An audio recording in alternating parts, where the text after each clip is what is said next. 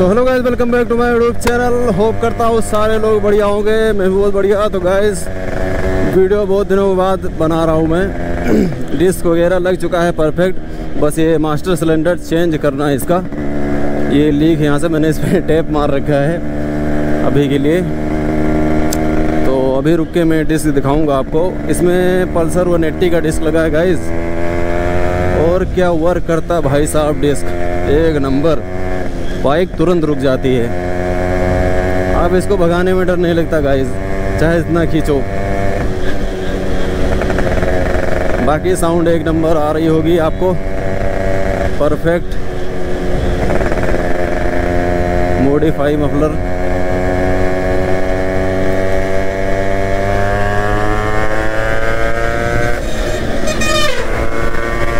क्या बात है? पिकअप एक नंबर है भाई आर एक्स का। पिकअप के मामले में एक नंबर चीज़ है। अभी देख सकते हो मैंने इसको 80 75 पे क्रूज कर रखा था। बीच में से कैसे कट कर निकाल मार के निकाला मैंने अभी। तभी डिस्क दिखाते हैं आपको, एक नंबर डिस्क हुई है। बाकी मास्टर सिलेंडर चेंज करना है इसका, क्योंकि यहाँ से लीक है थोड़ा सा। लीक ये टूटा हुआ था, इसमें एम वगैरह लगी हुई है, चिपका हुआ है उसी से। बाकी पर वर्क तो अच्छा वर्क करता है, ऐसा नहीं है कि टूटा हुआ तो वर्क नहीं करेगा अच्छा वर्क करता है। बाकी रही डिस्क की बात, एक नंबर डिस्क है प्लेट भी सही थी, उसकी घिसी हुई नहीं थी। बाकी डिस्पेट चेंज करना है, थोड़ा सा घिसे हुए हैं। बाकी आप लोग बताओ कैसे हो आप लोग और ड्रैग रेस वाली वीडियो। भाई साहब, एक नंबर वायरल हो रखी है। इतने व्यूज़ मेरी वीडियो पर नहीं गए, कभी उसको, उसी वीडियो पर गए हैं जो ड्रैग रेस है और किसी वीडियो पर नहीं गया व्यूज़ ज़्यादा। चलो, अच्छी बात है। आप लोग चैनल को ज़रूर सब्सक्राइब कर लीजिए। आरएक्स का वीडियो आता रहेगा। बंद नहीं करेंगे हम लोग ब्लॉगिंग बाकी अपनी आर एक्स एक नंबर चलती हुई।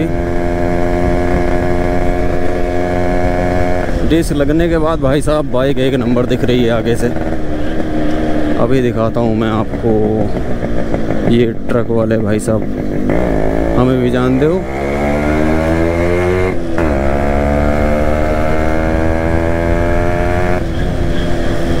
बाकी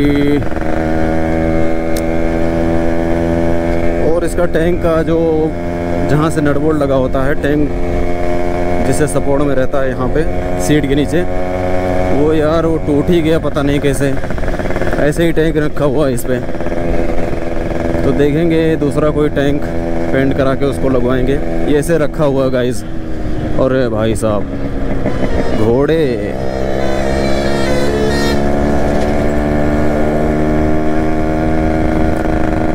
बस इन्हीं लोगों से डर लगता है मुझे जो बीच से निकल जाते ये देखो। ये देखो। डिस्क लगने के बाद एकदम से बाइक रुक जाती है। उतना डर नहीं लगता जितना ड्रम में लगता था। ड्रम में रुकती ही नहीं थी भाई ये। बाकी जो हमारे मैकेनिक बाइक की फाइव स्पीड थी, उसका पार्ट वगैरह बाहर से मंगाया है उन्होंने, जैसा कि ये हैंडल हो गया। और हेडलाइट हो गया। बाकी पेंट वगैरह तो हो चुकी है। इंजन उसका पेंट हो चुका है। और टैंक पैनल जो थे, वो लखनऊ में दिए थे पेंट होने के लिए। एक नंबर पेंट हो रखा है। बाकी उसको बनाएँगे वाई एस एस सस्पेंसन डालेंगे उसमें। और आगे यामाहा ग्लेडिएटर का डिस्क लगाएँगे भाई।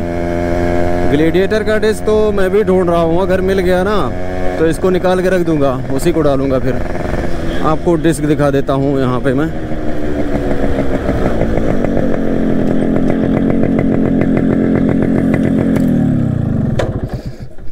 एक नंबर दिखती भाई साहब डिस्क लगने के बाद। ये देखो। आगे से भरी भरी हुई लगती है। वहाँ पे खाली लग रहा था ना पहले। तो चलते हैं फटाफट से। अभी तो मैं जा रहा हूँ मैकेनिक भाई के पास। वही सामान वगैरह लेने के लिए, लखनऊ में जो दिया था पेंट होने के लिए। बाकी उसमें आरपीएम मीटर वगैरह भी लग चुका है भाई साहब हाई स्पीड में। ये देखो, ये तो यहीं मिल गए भाई साहब।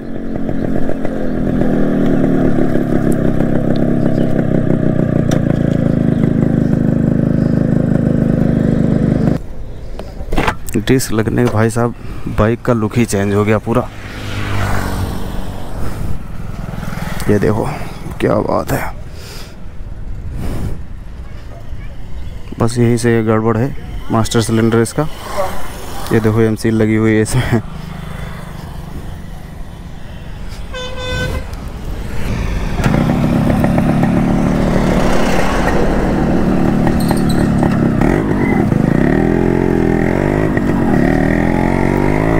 तो गाइस वीडियो को यहीं पे एंड कर देते हैं उसके बाद मैं मैकेनिक के साथ चला जाऊँगा लखनऊ।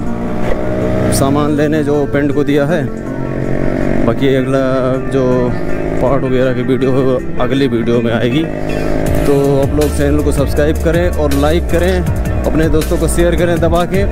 भाई साहब, जो आर के फ़ैन हैं